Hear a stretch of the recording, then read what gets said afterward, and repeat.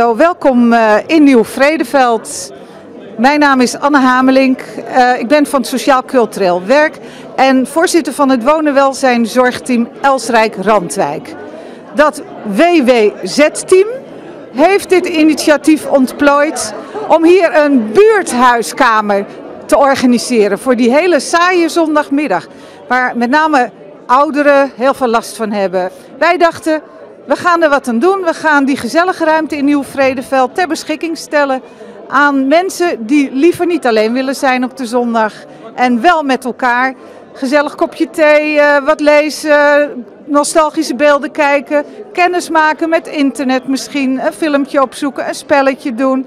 Alles kan. En het is een hele gezellige ruimte, dat hebben jullie misschien uh, gezien. En wij hopen dus dat uh, vanaf nu elke zondagmiddag enorm gezellig zal zijn met mensen die anders alleen en misschien wel eenzaam thuis zouden zijn.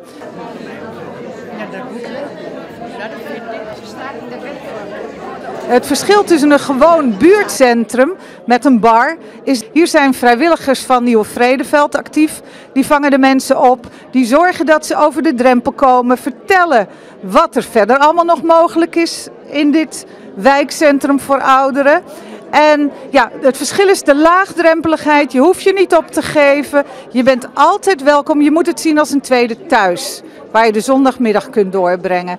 De drempel ligt hier gewoon wat lager. Vandaag is de opening. Uh, wethouder uh, Jacqueline Koops komt openen. Het zit in haar portefeuille.